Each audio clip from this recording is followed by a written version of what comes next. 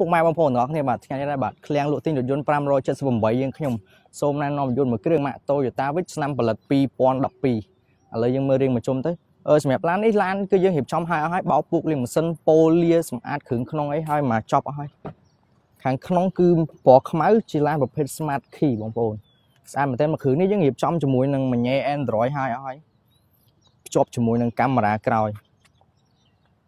យើងមើលមកជុំទៅ មើលគូតក្រោយរបស់វាមិនមែនថាឃើញទូចទូចប៉ុន្តែទលាយខាងក្នុងបងប្អូនយើងអាចដាក់អីវ៉ាន់បានមួយកណោដែរមកគ្រឿងនេះអឺអត់ភ្ជាប់មកជាមួយកង់សកួរទេមានតែកាវមកប៉ុន្តែខាងពួកយើងបានរៀបចំកង់សកួរផ្សេងសម្រាប់បងប្អូនទាំងអស់គ្នាឥ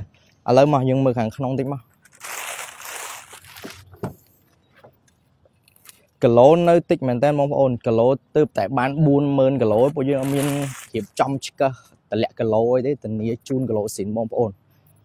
ឥឡូវអញ្ចេះយើងមើលរំលងម៉ាស៊ីនតិចមក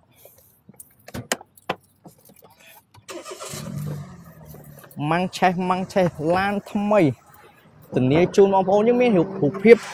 អឺនៅផែស្ងួនដល់ពេលយើងតម្លាក់ជូនបងប្អូនផ្ទាល់តែម្ដង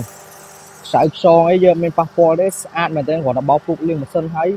ប៉ូលាឡានថ្មីភ្លឹង